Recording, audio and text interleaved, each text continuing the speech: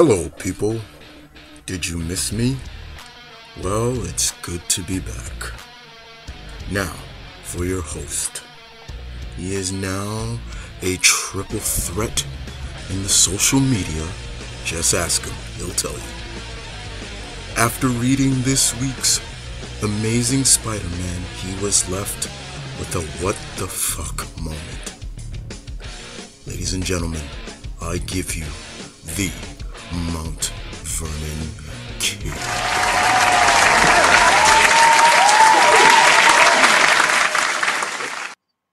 Thank you. Thank you very much. Uh, how's everybody doing out there? Um, first and foremost, Mr. O, Mr. Orpheus, it is good to have you back, bro. Good to have you back. Uh, how's everybody doing out there? Mount Vernon Kid coming to you again. Hope everybody had a very safe holiday, um, whether you celebrate Thanksgiving or not. Um, but other than that, hope everybody had a very safe holiday. And to please your appetites for my comic lovers and my comic fans out there, I'm here to deliver, yes, read the title, a giant size edition um, for last week's books. Oh boy, yeah. Um, this week was loads of fun. I have a lot of books to cover for you guys. Um, a lot of books. Now, Mr. Orpheus heard you heard Mr. Orpheus say, um, "I'm a triple threat on the social media." Uh, what he meant by that, guys, is now I am on Twitter, I am on Facebook, and I am on Tumblr now. Um, still finding my my niche on Tumblr, but um, it's been a lot of fun. Uh, but like I said, it's been a lot of fun, a lot of fun indeed. So, as always, let's get into this comics because I got a lot. So sit back and relax, dudes, because it's gonna be one hell of a ride. so let's uh, kick it off, shall we? Right. We're going to kick it off with Valiant Entertainment. I kept saying Valiant Comics, but they call themselves Valiant Entertainment now. And the first and the only book that I picked up X X-O Manowar number seven. Uh, Robert uh, Vertinelli is uh, Vertinet Vert did Teddy is is still doing a very good job on this book. Um, it is it is it is probably the, the what what they say down at the bottom is not probably is not just one of Valiant's best books. It's it, it is it is it is very good. This is a very good book. So pretty much now we get a little bit more in depth into what the Vine want and how long the Vine has been on Earth looking for the armor. Um, they have been on Earth so long they have had children with humans or so. They've had disguised themselves as humans, had children, had hybrid kids, and have used them as lookouts so they can find the armor because they've always known that it would come to the present.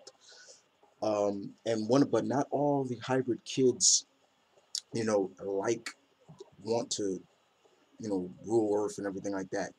They just want to live their lives out, pretty much. And one of them that Aric and Ninjak have is one of them. Ninjak and Ninjak was hired by some of those hybrids to retrieve the armor.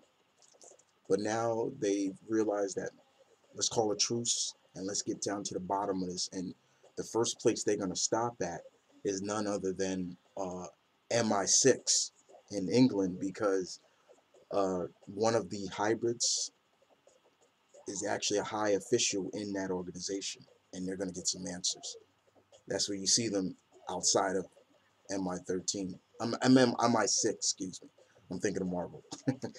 but yeah, um, Valiant Comics, uh, X-O, Exo Man of War, still good.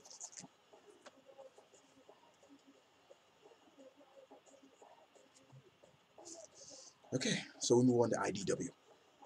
And the first one we're gonna pick up talk about is uh, Judge Dredd. Yeah, Judge Dredd number one. Um, IDW and AD Comics, AD have merged, have uh, come together to bring Judge to the to the states. Remember, Judge Dredd is a UK character and a very good one at best. Um, Duane Swierczynski does a very good job at reintroducing those who are not familiar with Judge Dredd to those people. Not me, but um, he does a very good job of telling a pretty solid and interesting story of Judge Dredd, and I was really impressed by it. Um, it made you feel as if Duane made you feel as if you knew Judge Dredd already. We we knew him. We just needed maybe a little bit of a of a of a background story, a little bit of of what is you know Mega City One and everything like that. What did the judges do? Everything like that in terms of their weapons and everything like that, and who was the best out of the judges. But other than that, it was fine. The artwork was pretty good. Um, but other than that, I, I liked it. I very much liked it. Very much. Good stuff.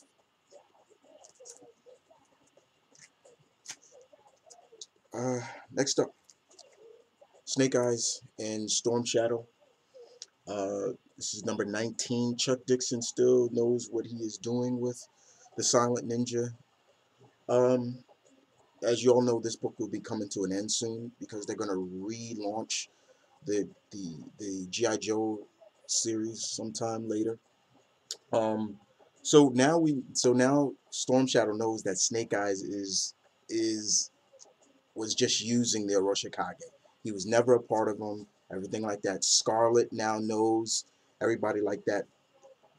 But um and Storm Shadow wants to hurt now Snake Eyes, but not just him, but some of his friends right now. And of course, some of the former masters of the Arashikage, like the Soft Master, I believe, he still wants his hands on Snake Eyes for what you know, he still wants revenge on Snake Eyes. And of course, you know, Cobra and everybody still wants to just wipe out the entire Arashikage. You know, Serpentor and all of them just wants to wipe it out pretty much. But still a very good solid issue. Chuck Dixon still does a very good job. And uh, not bad. Uh, nice cover though. Okay. So we move on to Dynamite, baby. Dynamite. I have a couple of Dynamite comics for you. All that I say, if you've never tried it, give it a try. Dynamite knows what they're doing with the pulp characters. And first off, I'm going to kick it off with the Bionic Man number 14. Nice cover by Alex Ross, if you could see that. Um, this is the more this is the more um we're getting more in depth into the the Bigfoot phenomena, you know, basically, and what he really is, what and what they've done to him and his race. Um, his race is they're not called Bigfoot or Sasquatch, they're called something else. But a, a Russian uh, organization uh, pretty much captured his race and just mutilated them by putting biotic parts in them, made them stronger, faster. Um, and unfortunately, one of them was able to, has found Steve, Steve Austin here, uh, and was able to communicate with him at first. At first, Steve didn't know how to react to it because he, he all here was buzzing, but now they, they can talk to each other very much. And they, Steve has helped, Steve has gone on to help him find his race, his his baby, his you know, and everything like that, and his his his uh, mate, and put an end to this genocide, pretty much. Um, but other than that, it was just a fun, very good uh, story. The endings left on a cliffhanger, which I don't want to spoil. You know me, guys. I'm not going to spoil too much, but it was a very, very, very good story indeed. And um, Bionic Man has still been doing good.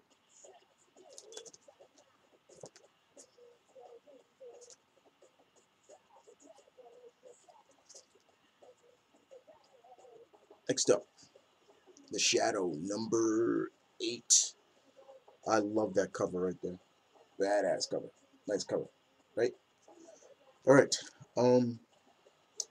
So now The Shadow is in this is the first uh, part of the four-part story, Revolutionary, and uh, Lamont Cranston and his pilot are in Paris, and uh, in Paris they're they're just lounging around at first, you know, but we do know there's something wrong with the Shadow's mystical powers. He can't read people as easy as he used to be able to do. And read into their heart and their soul like he he's always been.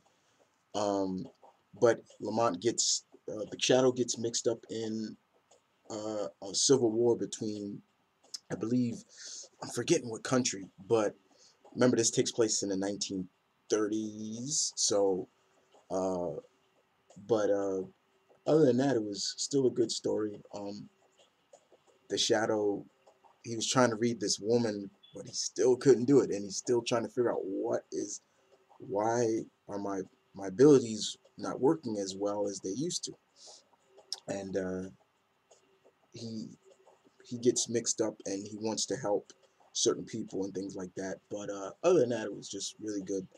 The first part of the first uh, four part story arc of Revolutionary, but um, Dynamite has still been doing very good on Shadow as well. Like I said, the pulp characters are where to go for for Dynamite. All right, and uh, next up, this is a book that I got two of my friends on. One of them is my mentor, uh, Blue Goblin. Check out his channel. Uh, and that is none other than The Spider. Number six, uh, David Liss and Colton Worley.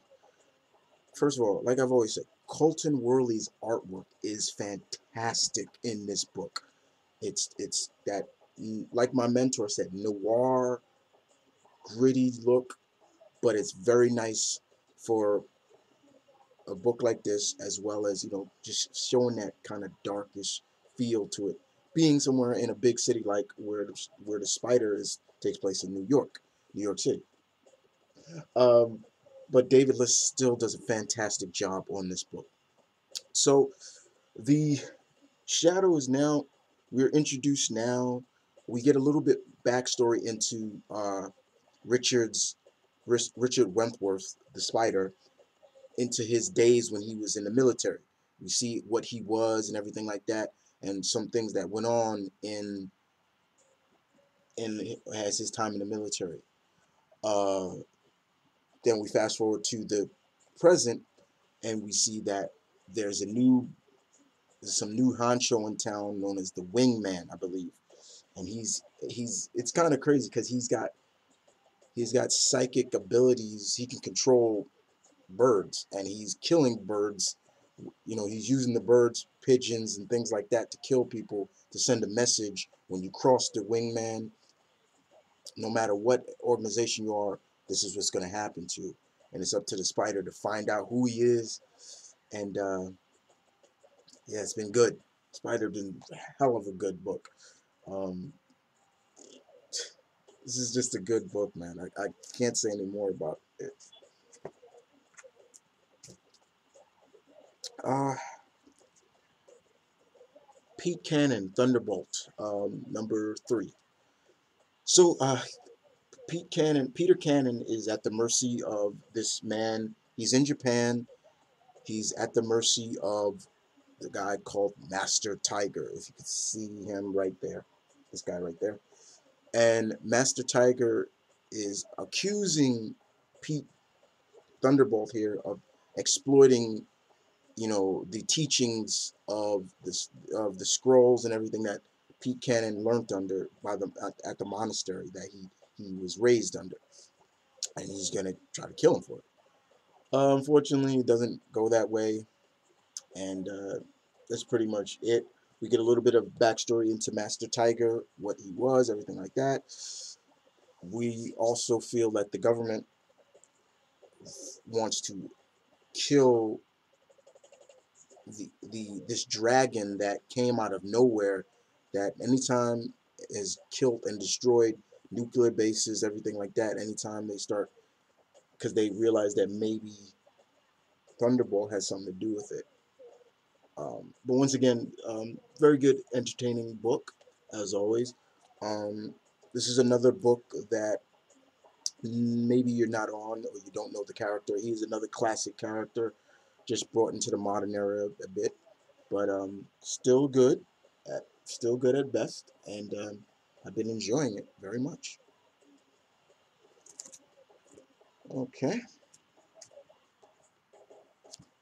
Next up, childhood. Going back to my childhood. For anybody out there who is a fellow chill child of the 80s.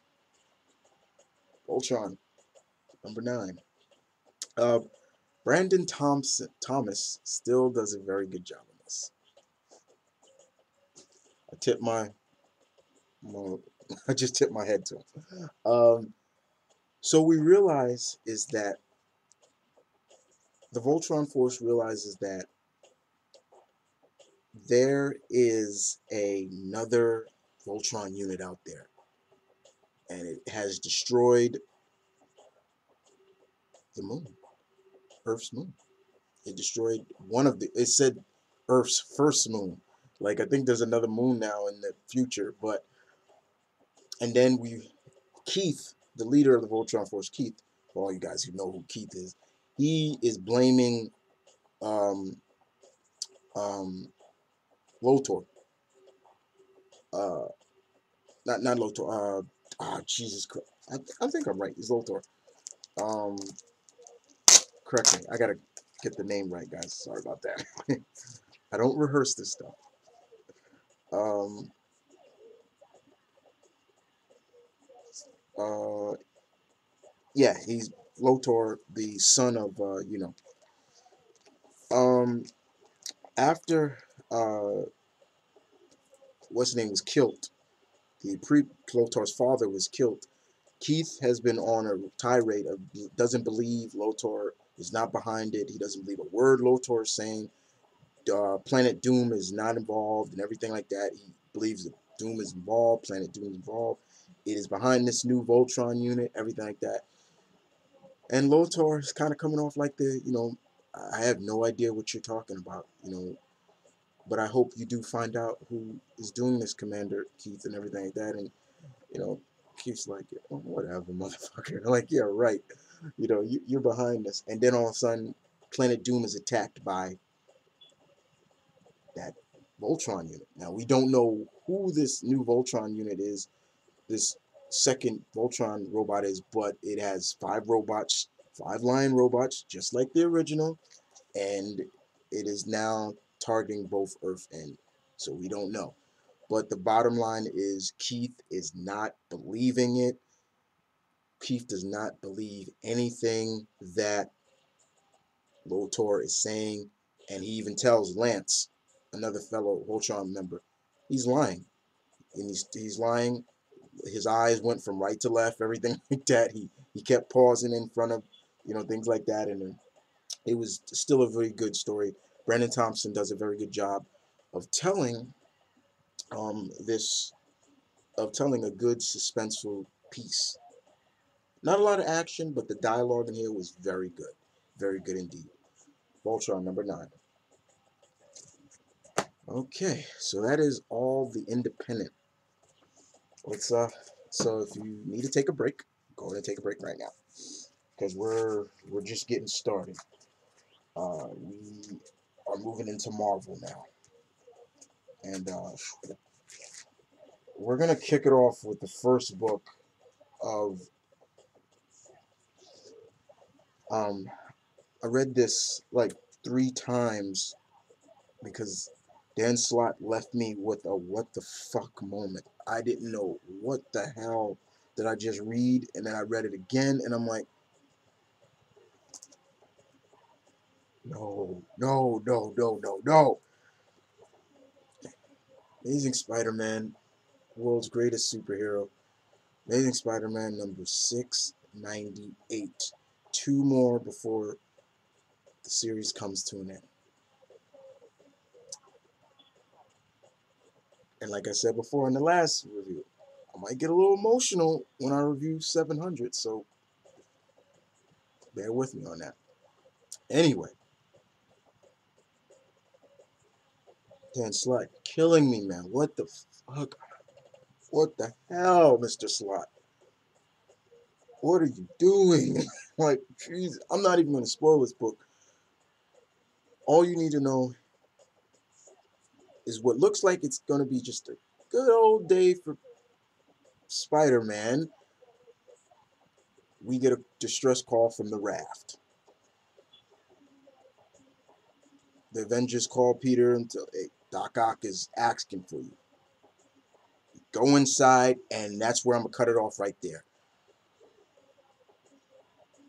You just have to read this book to really understand. I'm not spoiling a damn thing for you. What I read, and I'm just like really scared now because if that is. Oh, I'm sorry. I can't spoil anymore for you guys. But let's just put it like this. I am scared for my number one all-time hero, Spider-Man. I'm very scared for Peter Parker now. And it's getting me a little bit nervous now. And it is also getting me a little bit nervous of now maybe my deductions of who the superior Spider-Man in the Spider-Man that's coming in superior is who he really is now. But I'm very, very nervous now, guys. I'm very scared, and um, I'm just scared. I'm really um. But Amazing Spider-Man number 698. Pick it up, read it. You'll you'll be you'll have the a, a a WTF moment too. I'm telling you right now. Okay. Other than that, we move on to Astonishing X-Men. Uh, uh, numbers 5, uh, 56. Margaret Loeb. Miss Loeb still doing a very good job on this book. I like the cover of uh, my man Bobby, Iceman, paying homage to Gambit. Look at him. Um, so the last issue, we we know that the team is in Madripoor, and um, Karma's sister has been using has thinks she thinks she's using the team to take over Madripoor. However, it was all a plan. We thought Iceman had died. No. Um, and uh, we we find out that the team, nothing is wrong with the team. They they weren't losing their edge. They weren't having uh, dissension in the ranks. They were just using Karma's uh, sister, who was really just all she was really doing is because she had daddy issues. That's pretty much what it is. And we get to see Karma's daddy in this, and you know it was kind of crazy, but um, it was still a very good tale. Very good tale. We get some more into. We also get a little side story of um, immigration. I think coming uh, coming to uh, talk to uh, Northstar they went to go see his his husband, um, and they're like, we need to see you know Jean Luc, uh, and things like that. You know, it's, it's about you know him, his passports and stuff like that. I'm like, oh my god, like that's kind of crazy, but no, um, it still was a very good tale. Um, it ends with Karma some bad happens to his sister. I'm not going to spoil that is, but it does. It kind of ends on a sweet note for Karma. Um, very much. Um, I don't want to spoil it though, but let's just say something was left for Karma, and yeah, let's just put it like that. Something was left for her. But uh, Astonishing X-Men, still good. Margaret Loeb, my lady, thank you very much for still telling a very good story. All right, so we move on to Bendis's final Avengers book. Avengers number 34. Uh, Brian Peterson's artwork was well. There was a whole lot of artists in this that, you know, from uh, Walter Simonson to Mike Deodato, you know, uh, uh, Leland Yu, you know, you name it. Uh, Alva Capelli, they all were in this book. Um, we the Avengers deal with uh, Lord Gabar Go, Gojabar, who is like the kingpin of the microverse. Um, and we, they get a little help from none other than Simon Williams. Yeah, uh, Wonder Man comes to their aid. He he is trying to live up to this whole notion of I got a, a retribution. He wants to turn his life around, everything like that, and he comes to their aid and helps out. Um, but and it, it ends pretty much. It, this ends really on a happy note because once they get back to the normal universe, you know the what they call it, the macro universe. Uh, everybody's reunited with Janet, and she's just like, "Booyakasha! Guess who's back?" And everybody's like, "Like, Janet?" And and she's like, "Carol, what did you do to your hair?" And she's like, "I'm." Carol's like, "I'm. I'm working on it." You know, but little did they know, by coming back to the microverse, they brought along. Uh, there was a hitchhiker back with them, in the the form of Lord Gobar. I think I'm saying his name right. Um, uh, who uh, they fought in the microverse, and so they got to fight him and get him back in there. But everybody um, just is really pleased to see Janet. Um, eh, and then, of course, you know, uh, there's a ceremony for her, welcome her back. You know, everybody's there, past and present Avengers, and everybody's there, just you know, just get, enjoying and getting together. It was that part of the the book was uh, drawn by Terry Dodson. Um, and uh, then we see in the background, we see Cap and Tony talking. And uh, Tony's like, Are you okay? He's talking to, to, no, no. Cap, Steve says to Tony, So how do you feel about Simon being? He's like, I'm okay with it. Like, you know, as long as, you know, things like that. And he's like, I'm more worried about you. You need to get some sleep. And Cap says, I had 70 years to sleep. I don't need it. And he's like, You always use that line. He's like, Would you give me a break? I'm a senior citizen. And I was like, Oh shit. Um, but then then Tony says, But what's really wrong, Steve? And he's like, No matter how many times we no matter what the Avengers do, there are gonna people that are always gonna blame us for things that went wrong and things like that. He's he's understanding that. So he's he even admits what Simon was saying before that it was true. You know, sometimes we are to blame for things. And he says, So what do we do now? Tony says, I know what we do now. Steve says, What? Tony looks at him, and then they look at all the Avengers in there, and he says, We go bigger. And I guess that rolls into, you know, Hickman uh, Avengers coming up soon, where the team is bigger. The team is bigger, and they're just they're not going to just be. They're going to be universal. Like they're not just going to stay on Earth. They're going to go interstellar and everything like that, and that's cool. Um, I'm looking forward to uh, Hickman's run. But other than that, I just want to say to Mr. Brian Michael Bendis, um, though, sir, you you're not you're sometimes you're hitting a miss, but I must give you credit on Avengers. They, they say you took the mediocre Avengers at the past.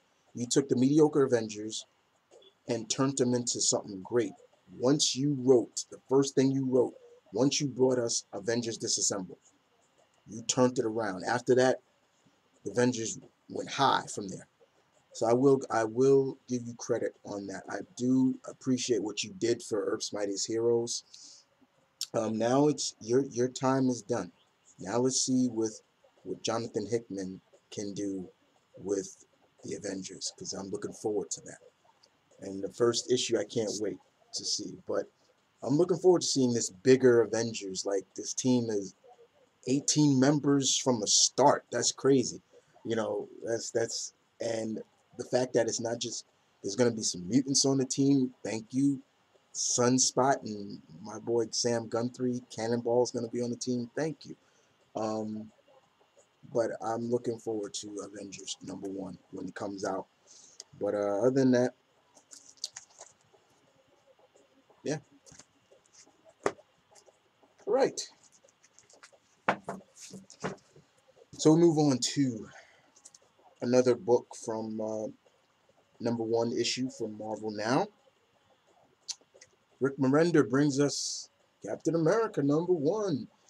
Uh, Ramada, Ramada, Ramita, or Ramada, Ramita, um, is the artist on this. All right. This was good. Yeah. Um, I was very impressed at what Mr. Remender did. It, he he put the super soldier Captain America and meshed it with now sci-fi big time. This is big time sci-fi. This gave you a big time sci-fi feel. All right. Without spoiling too much for you, what I will tell you is we get a little backstory of where Cap kind of got that that spirit of never giving up. You know where he got it from? He got it from his mom. His mom. He gets it from his mom. He doesn't get it from his dad. We see his dad just that was hard for me to read. Just watching his dad beat up on his mom, like eh, eh, his mom is just telling him, telling his dad, you know, we need work and you got to do this, and he's just bam, just hitting her, and poor Steve, little Steve's underneath uh, the table and just scared, and then he just says to his mom when she, she's she's like, come on out, and and he says, mom, why didn't you give up? Why didn't she gives him the, the, the speech because you don't give up, never give up, you stand up. And I was like, so that's okay. If so, that's if Mr. Remender, that's what you're trying to say, where Steve gets that that never die attitude from. You don't. Um. He's celebrating his 90 his 90th birthday. Him and Sharon. Sharon tells him that Shield has found a something I don't want to spoil. It's kind of how he gets to the dimension Z who is running Dimension Z, nobody than Arnim Zola. But it was really good. Arnim Zola was is it was crazy. Seeing a lot of stuff that was going on. It made you really feel for Steve what, what you saw what Arnim Zola was doing to him. Ouch, very much. That's all I can say. Ouch. But for the first issue, very good. I was very impressed at what Rick Remender did. Um, and I'm looking forward to seeing what he brings to the table and it, how Steve is going to get back to the six and six universe, you know, and things like that. Um, but yeah, he's trapped in um, Dimension Z. Uh, but yeah, very good. Um, I did not. I was a little bit kind of a little bit let down on how Cap gets to Dimension Z, but other than that, it was good. All right. Captain Marvel, number seven. Kelly Sue DeConnick. Okay, I was wondering if this was going to come up in some time, and I was right. I, it did. So, Carol is out in New Orleans. She's helping out somebody. We don't know who it is at first um, until once they, she comes back up and we see who it is. It's Monica Rambeau, aka Photon Pulsar, aka Captain Marvel. Yes, so Monica has a pretty much a she's kind of like you should have told me, you know, you should have told me, you should have told me, you know, why didn't you tell me that you were going to use the name? And they I love how they get into it like Monica, please, like you haven't used the name Captain Marvel. It was not yours to give. You haven't used the name um, Captain Marvel for how long? Miss Photon, Miss Pol Polar, Pulsar, you know, everything like that. And oh, this coming from Ms. Ms. Cap Ms. Marvel slash Warbird slash Binary Danvers and Touche. I thought that was really funny, but in a sense, I can understand Monica's kind a little bit, but then I'm like, you know what? Carol's right. She's got a point. Monica, you haven't used the name since you were part of the Avengers. Okay? And, you know, but other than that, it's it was a good piece of story. She's down there helping Monica. Um, look, she's I don't know. In, in a sense, it's like they're she sees a like a graveyard of like planes and ships and everything, and and I guess that's what she's using. Monica's using Carol for, but um, we still it was what I did love about what Miss Kelly Sue did was she brought back up Monica's kind of claustrophobia of the water. And I once I saw that, I was like, I knew right from the get-go what she was talking about. I was like, Leviathan. I was like, yeah. And I was like, I was like, oh, thank you, Miss Kelly. I can't believe you you brought that back up. It, yeah. There was a sea serpent in Avengers 231, I believe, way back. Monica battled it and it almost killed her. It it uh and she's gonna have a she's got a fear of going underwater now because of that. So she's kind of like claustrophobic, you know, got a kind of phobia of the water in a sense. But uh, I loved how Monica used her powers um, when she was helping Carol because Carol was like, "I need some help," and she, she it, it, was really cool. But other than that, it was it was fun. Um, it was good to see Monica Rambeau. Um, I wish she was in a, a, a, book. Hopefully, maybe she'll be in that that uh, Fearless Defenders book, that all female team, maybe be good. But other than that, it was still great to see Monica Rambeau, Photon, you know, or whoever, however, whatever her name is, but she just goes under Monica now. And um, Miss Kelly Sue still does a very good job with uh, Carol. I'm just hoping there's a there's a trend in the end of the book. We see something that Monica, I mean, uh, Monica and Carol are gonna face, and I'm hoping that won't be the trend for the book Miss Kelly Sue um, is that I don't want to spoil it, but I'm hoping that won't be a trend for all her book, you know, for the next issues. But other than that, it was still good. All right. Daredevil number 20.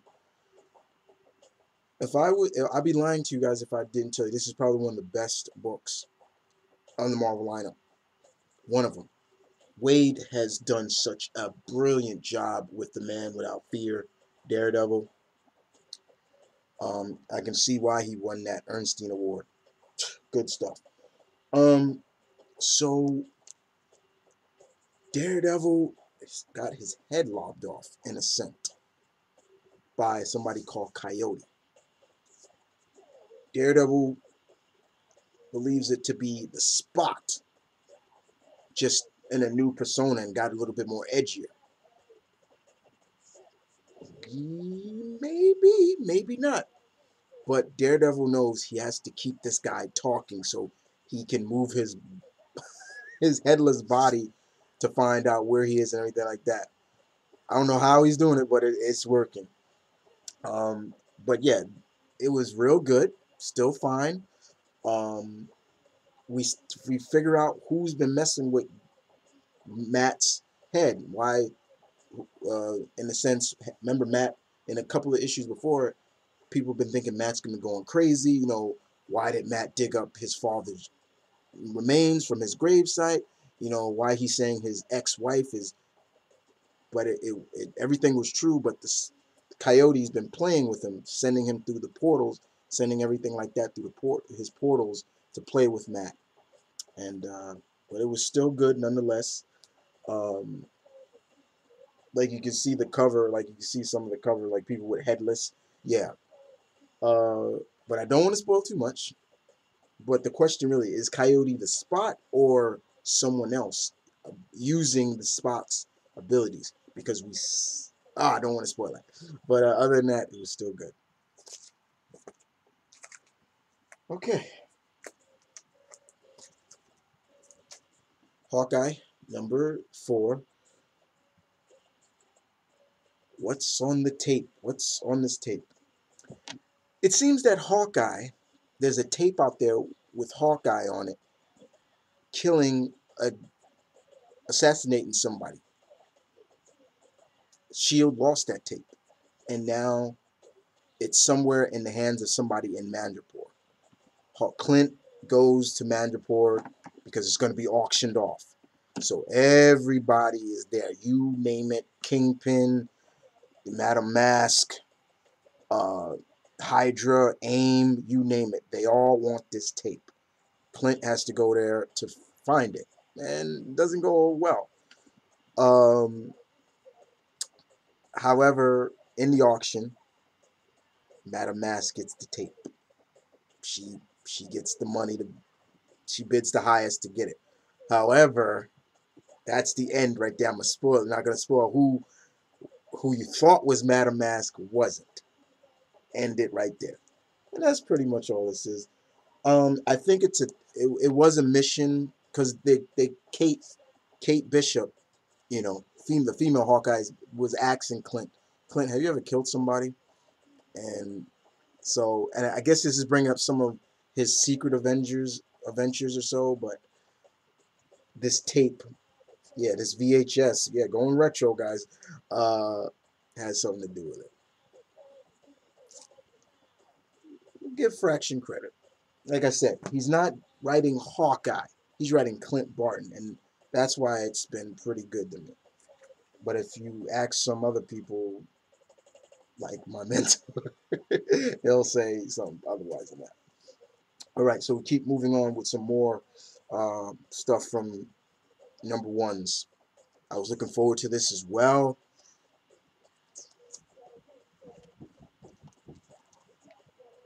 The Indestructible Hulk number one.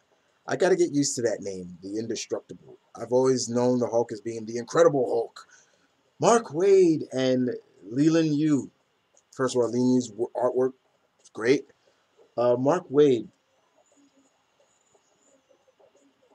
Yes. Very good. Very good for the first issue. Bottom line is, this kind of gives us a notion of why the Hulk, what makes the Hulk a shield agent.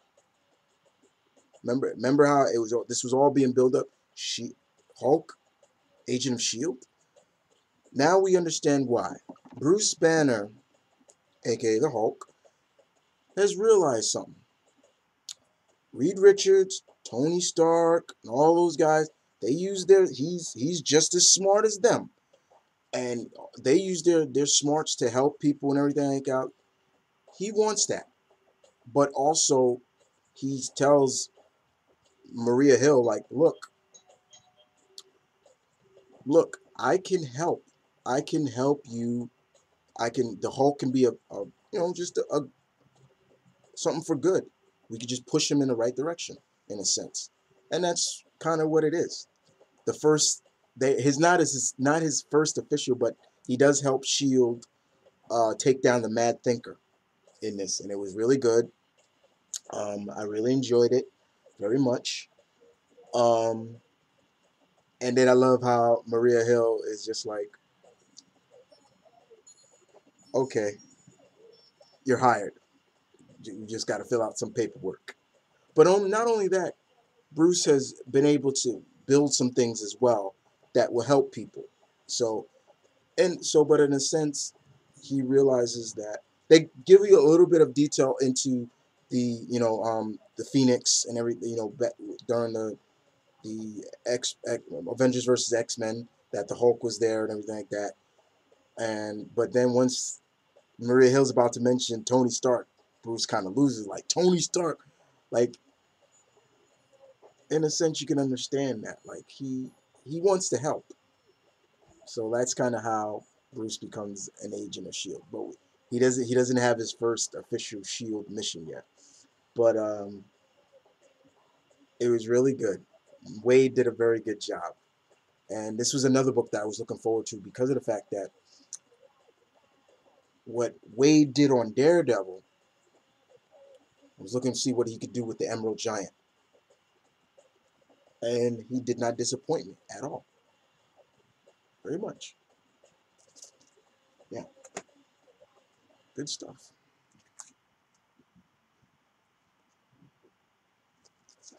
Iron Man number two, Gillen, and you know who.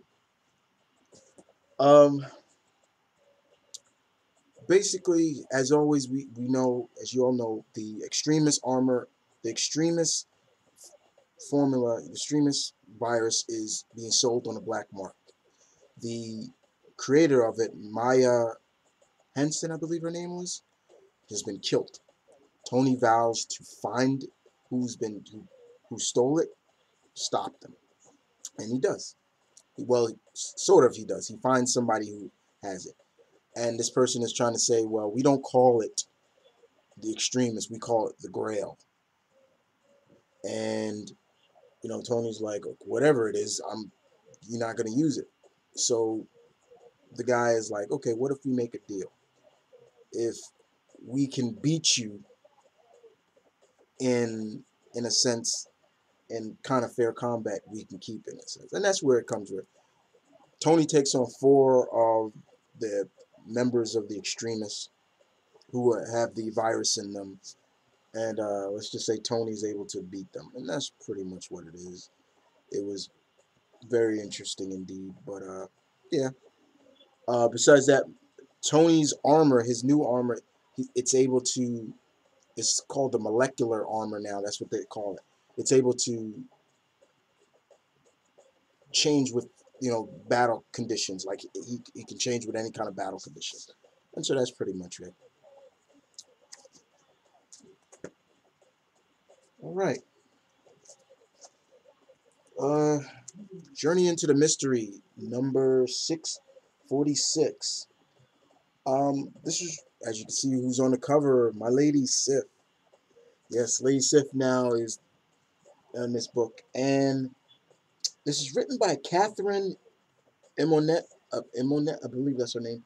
Um, I'm glad to see Marvel is really starting to have more female writers writing books now. That's very impressive to me. I really enjoy that a lot. Um, this is a very good intake of innocence we get more of an in-depth feel of what makes Lady Sif tick. And what how does she look at herself as a warrior as well? And I like that. I thought that was really good. Um, and how she feels that how she can improve herself even more. Um, without spoiling too much that's pretty much the basis of this first issue in a sense. But I thought it was very good um, I thought uh, Miss uh, Imonet, um, I hope I'm saying, I'm, I'm probably butchering that name. Uh, she did a very good job of telling who Lady Sif is. Good stuff. All right. So I hope you guys have been still with me. Just a few more Marvel. Don't worry. I'm almost done. the final part to Minimum Carnage, uh, Minimum Carnage, uh, Omega, Yost and Cullen Bunn. Oh boy, um, this ends. This was action packed. Just put it like that. Um, Flash and Kaine are just fighting for their lives and and just trying to keep the city of Houston from falling into a panic, as well as just trying to make sure that Carnage doesn't succeed in. Well, he's he's he's basically caused mass hysteria, but caused a massive genocide in a sense. Um, and that's pretty much it. But it was just action packed from start to finish. Um, I the oh boy, I don't want to spoil. Ah, uh, you know what? I'm gonna spoil it. I'm sorry something bad happens to Cletus Kasady in this. Oh, my God.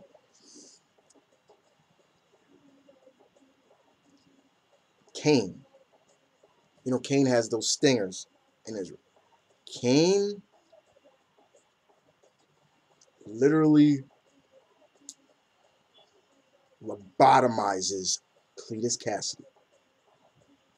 Took the stinger and shoop, right in his head, Classy is outlet. Flash comes and grabs Kaine's like, "What are you doing? Like, why did you do that?" And Kaine goes in and says, "How many people has he killed and everything like that? How many people died because of him?" And Flash was like, "There has to been another way. There had to been another way." Kaine just webs off and, "Well, yeah, well, when there is, you tell me." That's this is how the book ends, guys. I'm telling you right now. Basically, the doctor is telling Flash, Venom, Agent Venom, did you hear what I said? And he's like, oh, I'm sorry, my mind is somewhere else. Mr. Kasady has healed well, but he is chronologically lobotomized. You see, like, drool just coming out of, you know, Kasady's mouth. However, the symbiote is still in his blood system. In, in his blood system. And now, basically, whatever kind of morals or what was humanity that Kasady brought to the table is gone now. The symbiote now, the alien host, symbiote is in full control of Kasady's body. And you see the symbiote smiling and that's and then that's where Flash is. Now that just makes him more dangerous than ever. And yes, indeed, that makes Carnage more dangerous because there's no kind of humanity behind him anymore. That may give Kasady's a psychopath, but even at some best, sometimes there is a little bit, maybe a smidget of humanity in there. Not anymore. Overall, the Minimum Carnage uh, story arc I enjoyed it was good to see Carnage back. Um, and, and, and it just focused on two characters, two main characters, Kaine and Venom. Ultimate Spider-Man, number uh, 17. Um, this is basically Miles, along with Spider Spider-Woman, Ultimate Spider-Woman. They are in the, you know, the United We Stand story arc that's still going on the president, aka Captain America, yes, Steve Rogers is the president of the United States in the Ultimate Universe. um, and they're battling the forces of the Ultimate Hydra in this for, you know, just trying to get back the United States and everything like that. Um, and that's pretty much the main focus of it. And the team up between these two being partners together. Um, that's pretty much it. It's nothing too special. But we get to see a little bit of um, what, what's going on with Miles's mother and father. But other than that, it was it was fine. Yep. Okay. Wolverine and X-Men number 21, The Strangest Heroes of All Time. Aaron still does a good job on this. Brubaker, Bradshaw's artwork. Uh, once again, like I said, it it has grown on me. I've accepted it. Uh, the circus is here. The kids of the Jean Grey School of High Learning are like, where are all the teachers? Hey, where are all the teachers? Where's Professor? Where's Professor Grey? Where's the? We find out where they are. They have been literally brainwashed and thinking they're part of a circus. This this circus. And uh, it's up to the kids to find out, to get them back, in a sense. And who is behind it and everything like that. And we find out a little bit more of one of the members of the Hellfire Club who he his his family legacy comes from and he doesn't like it not gonna spoil that. But uh, other than that, still good. And looking forward to where this goes. But uh, don't want to spoil too much for you guys with uh, Wolverine and X Men. I thought it was funny seeing Wolverine as a clown, though. and last but not least, X Factor 240 seven. Peter David. I don't even have to say it. You should already know it by now. so this picks up now. This is basically picking up what happened between Layla. Should I call her and and Jamie Madrox? They got married. they got married. They're married. They now officially married. So I don't know if I should call her Layla Miller Madrick, Madrox or or not. But they got married in Vegas. All of a sudden, we find out there are a lot of cool, a lot of people dying historical figures in a sense that are like ministers of chapels being killed off, getting their heads chopped off. And we find out who it is. It is a, believe it or not, General Robert E. Lee. Yeah, on that cover. That cover basically, so it's Jamie finding out, fighting a, a Robert E. Lee um, a dead Robert E. Lee, and he's killing people. He's killing Lincolns, and it's so funny because he's he he, he it's really him, and he's really disappointed in basically, you know, like, you know, he's he's like, I can't believe they're making such a big deal out of this Lincoln. They're saying that he's this, he's that. They even made him a vampire hunter, and I was like, um, but um it was still fun. This was a fun issue. Um, I loved how Jamie was like, for the last time, the South will not rise, and he was like, I was like, oh boy, you know. But yeah, it was really a undead Robert E. Lee killing. Jamie was like, I, you got to be kidding me! Like when he saw it for the first time. Um, but Peter David still throws us a nice, nice curveball in this, but a very good curveball that you enjoyed watching.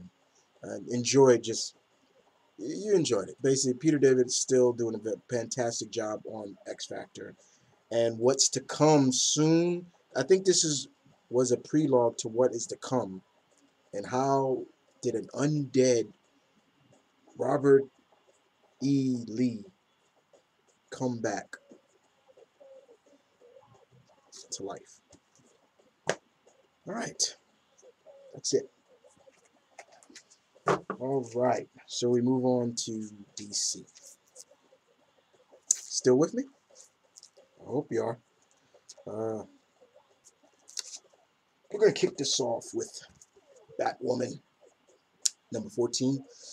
Uh, J.H. Williams III and Haden Blackman. This is still continuing the story arc team up between Batwoman and Wonder Woman and trying to figure out where Medusa is. Does do they find out where she is? Yes. Where am I going to spoil where she is? No. But it was still good. Um, the team up is still very good. I still enjoyed it, and uh, it's been a blast. It, it, it, was a blast. It was a it's a blast seeing Diana and Kate work together, and you get to see kind of uh, chemistry between them, as as well as some differences, the differences as well in them. But overall, it was still a good team up. They find out where Medusa is from uh, an immortal that he he wants Wonder Woman to kill him because he's immortal, but he is so badly wounded up. It's going to take forever for his wounds to heal, and he just can't take it. So pretty much Wonder Woman mercifully um, and that's where we kind of see some of the differences because after that Batwoman's like why did you do that like everything like that but uh, let's just say Medusa doesn't look like the Gorgon that we probably come known to see in like stories you know classic Greek novels and Greek movies like Clash of the Titans and stuff like that. She doesn't look. Basically, you got to look at her right there. That's kind of what she looks like in a sense. But uh, that one's still good. And thank you very much. All right. Duane Swierczynski brings us once again Birds of Prey, number 14. Uh, the girls are still in um, Japan. Um, Katana is still looking for her blade, her sword, the Soul Taker. The and we are introduced to this new meta human. I guess his name is Condor, and he seems to have psychic abilities or so. And yeah, the team fights him, and we find out it is he who has Soul Taker, and uh, he gives it back to Katana. However, we are the the daggers, this group that has is coming after Katana. Katana's like, we're not leaving here until we wipe out the entire the entire organization. Um, in a sense, basically that's it. However, there are some things in here that I don't want to spoil, especially between Starling, who she calls. Um, but it, it was still fun. It was still good. I still enjoyed it. Um, it was really fun seeing Canary really use her Canary cry more often in this than she's done in the past couple of issues. Um, but it looks like the next issue is the last issue for Katana because it's called Sayonara Katana. I guess that's where she, she leaves the group and we get ready to see her go on the Justice League of America um, as well. And but we do know there's somebody that's going to replace her, and um, you should already know who that is soon. But other than that, um, this was still fun, and I'm looking forward to seeing how Katana she her exit from the team. I always like to see how people exit from the team. Uh, two more issues to go before this book is canceled. Uh, Blue Beetle, number uh, 14, Welcome to the Reach. Uh, Tony Bedard tells a good job. Uh, Jaime and uh, another mem- basically, um, I think his name is called Kajai I believe his name. I can't pronounce. I'm pronouncing it wrong. Are on the Breach World, and they are, he plans to destroy the Breach World. And that's pretty much the bottom line of it. And Jaime is just like, look, I don't care what we do, but I'm I'm getting home. I'm not we're going to survive. This may be a suicide mission for you, but not for me. And that's the basis of it. Um, that's pretty much the basis of it. Yeah. but um, I just want to, I'm hoping Jaime doesn't die, things like that, with two more issues to go because they're ending at 16. DC, don't put don't throw Blue Beetle into that comic book void. Put him on some other book, you know. Hell, put him on the, the young the Teen Titans or something. Jesus Christ. Do something. But don't put him in that void. Like what you guys did with the JSA. The the the the the uh the JLI. Yeah, I don't even have to say any more about that. So I'll still get that for doing that. Uh, DC presents uh, Black Lightning and Blue Devil. You know me, guys. I'm Black Lightning. Love Black Lightning. One of my favorite DC heroes.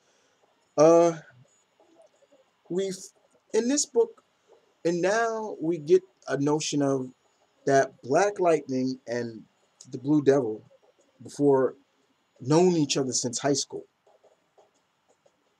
and um, they known each other since high school and they know who each other. They know their their dual identity, so they realize they have to team up. They now they know who each other. The Blue Devil knows that Jefferson Pierce is Black Lightning.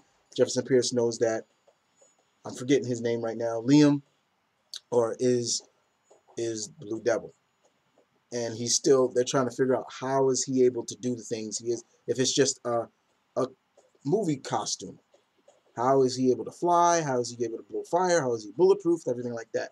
And uh, Jefferson is like, look, I'm not really big into magic. I can't believe in magic, science, everything like that. Yeah. And then uh, Blue Devil's like, dude, you shoot lightning out of your hand, and you can't believe in magic. I thought that was really funny. However, Tobias Whale has made a deal with uh, um, a demon known as uh, Neb Nebiros. Nebiros. I think I hope I'm saying it right. Um, and he's telling Whale, I want the blue one. If you help me, I'll help you. Deal? Deal. So it looks like there's still more to come. This is I've been enjoying what they've been doing with uh with Mark uh Anderoak Anderayoke has been doing. And uh it's good to see two more DC heroes back in the back in the fold now. Still coming. Still it's still moving. I think it's five parts for them. Ah, boy, yes. Uh, Green Lantern, New Guardians, number 14. Uh, meet the newest Yellow Lantern, Kyle Rayner. Yeah, Kyle is still on his quest to be able to control all the colors, in a sense, as well as um, Tony Bedard still does a very good job. Um, the new army, third army, is not is nowhere to be seen in this, but we do get the, a sense more of what's going on with uh, Carol Ferris um, when she goes back to the the home world of the, the Star Sapphires. And the queen of the Star Sapphires, she's not really liking what, what Carol is doing, everything like that. And that's where we also see when they finally realize, okay, look, we'll let you keep your ring you know, you can still go out and look for your boyfriend because it is a quest of love. What Carol doesn't know is that the Zoriman, Mand, you know, the, the the alien race of the Starfleet, have are league are, have aligned themselves with those blue-faced bastards, the Guardians. Now, why is Kyle doing all this? Why is he going around trying to learn all the you know, master all the colors in a sense. For Ganthet. Yes, it's for Ganthet in a sense. But even Carol tells him, like, look, I understand you're doing this for Ganthet, but even you have to realize, Kyle, that this could be a lost cause. We can't do anything about Ganthet. What they did, what the Guardians have done to him, lobotomize him, making him just as wicked and stupid as the rest of the. We can't do anything about it. But and so Kyle even says, like, okay, but I'll still help you find how and everything like that. But he's able to kind of master the yellow and was kind of good. To, it was cool to see him in the yellow as well as help Arkillero find his way as well. Like, being that he's the last Yellow Lantern, Kyle is like, look, you, the only reason why you, you have a little bit of love for Sinestro admit it. And he's like, I know I don't. And, you know, it's kind of interesting. But even it shows even a yellow lantern, a fear lantern has love in his heart. Um, but yeah, it was this was good. Um, this has been very good in my. I've if if I'd be lying to you if I didn't say Lantern, the Court, and this book has been kind of better than Green Lantern. I have to say, um, that's just my opinion, guys. Just my opinion, indeed. Uh, moving on. Justice League.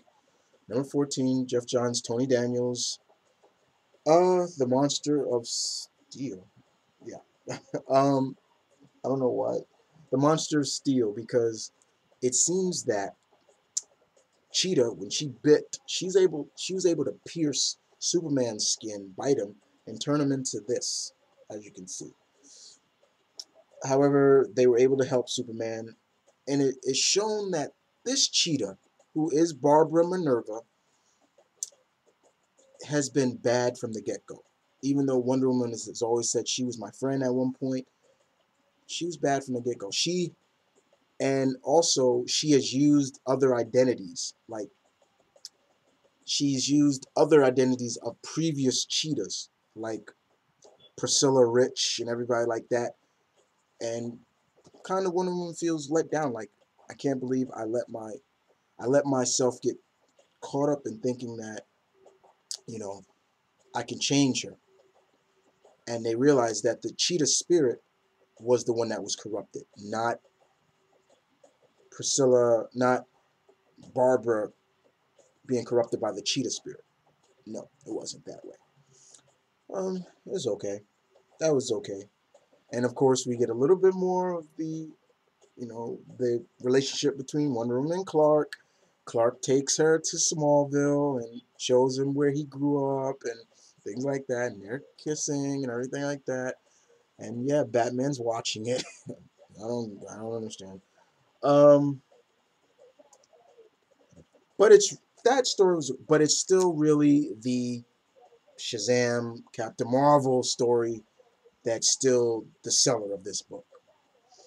Uh, Dr. Sivana and Black Lightning have now officially Black Lightning is now looking over the city. I don't know what city. I believe it's I don't know what city it is, but they're they're looking and he's like why are they why are they you know he's seeing a protest going on and Sivana's like and Black Lightning's like why are they protesting why are they doing this and he's like they're probably protesting for their their and he's like oh so you mean they're slaves and he goes up and grabs this rich man who that people were protesting about, drops him and kills him right there. And I'm like, same old Black Lightning, Black Adam, Black Adam, just seriously, just literally drops this guy, and then he he uh he's like slaves you are no longer slaves anymore you are free your slave owner has been killed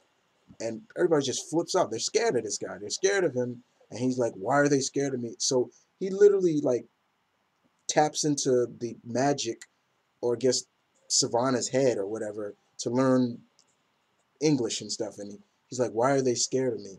But still, the basis of it is is trying to find out, try to find the wizard and everything like that. He does find the wizard, but he also finds out that the wizard has given his last bit of magic and strength to a new champion. Billy Batson. But it was still good. That was the best. That was still Gary Frank's artwork was really good. And that's still the basis of the book. That was still the, the gem of that this book. But uh, next they're go they're gonna get into the whole throne of Atlantis, that story arc that's coming. That's gonna go through Justice League and Aquaman. Okay, oops, drop myself. Still with me, guys? Two Um, like I said, had a fun week. Um, Tom DeFalco, Nightwing, Lady Shiva. Yes. Strikes. And boy, does she strike. I, I'll be lying. To, does Nightwing, is, they, is Nightwing able to handle Shiva? No. Does she belittle him? Not really, but she's she's one step ahead of him and when it comes to fair combat.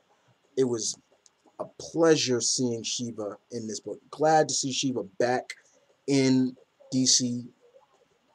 You know, um, I am a little bit, a little kind of disappointed that she's using a lot of weapons now because Shiva is a weapon. She don't need weapons. But other than that, you know, even Shiva realized that she knew right from the get go who Nightwing was because they met before. She was like, Robin. And he was like, oh gosh, she knows who I am. Like, and he's like, your skills have improved some. But then, but Dick goes into a fight that she shouldn't have, he shouldn't have gone into because he was injured from a previous fight. He's, his, his, uh, his, uh, ch his chest was pretty much his, his, was really injured. He had his chest and his ribs taped up a little bit from it. And when Shiva realized that, she, she kind of like was like, like, oh, like, okay. She almost, she basically lets him live in a sense uh, because of that. But it was still great to see. Um, that cover is badass. Um, but it was just a great pleasure to see Lady Shiva. She um, I'm sorry guys, I, I geek out when I see Shiva. I'm sorry, I do. I'm sorry. It's good stuff. But it was it was good. Now they're gonna get into the whole uh, death in the family stuff. Um, next up, Supergirl. Uh, this is still continuing the Hell on Earth. Um, this guy is a lost Kryptonian, a forgotten Kryptonian. His name is, I guess, Hell, or Hell, however you pronounce it. And he's come to Earth, and what it it seems that he has dealt with Superboy already. Now he's dealing with Supergirl, and he's it's almost like he's getting to Supergirl now.